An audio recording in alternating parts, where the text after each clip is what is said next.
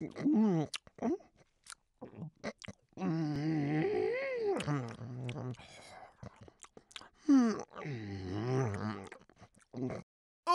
I am so full. I think America is going to mean death to me. Funny, that could be the title of your memoir. Mm, that's a little too on the nose for me. I will ask the Wilsons what they think about. The Wilsons! We've got to save them! Hassan, we must leave now, but stealthily to avoid detection.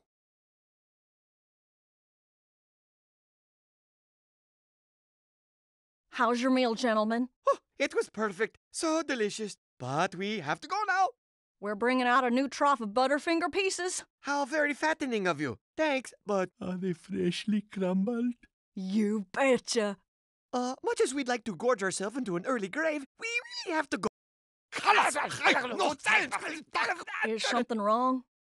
Oh, no, it's all hunky dory. What could be wrong? We've had our ridiculously huge dinner, burped and farted to our heart's content, and now we're leaving. Just like any other Americans. I look so young in that picture.